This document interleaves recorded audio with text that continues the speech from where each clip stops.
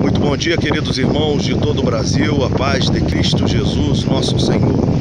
Estamos aqui na belíssima praia de Rio das Ostras.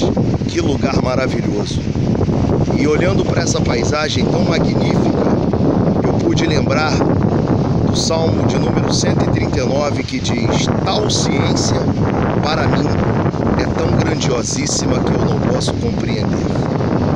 Falar da grandiosidade de Deus, do poder dele magnífico, porque ele fez tudo para nós, mas infelizmente por causa do pecado, os homens não usar é, aquilo que Deus fez para a sua alegria, para o seu prazer.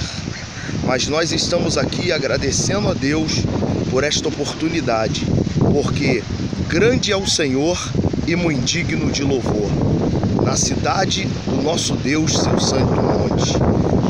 Você olhando as maravilhas do Senhor e contemplando elas, você só tem que agradecer a Ele. Que Deus te abençoe em nome de Jesus. Esta palavra de fé e esperança no teu coração.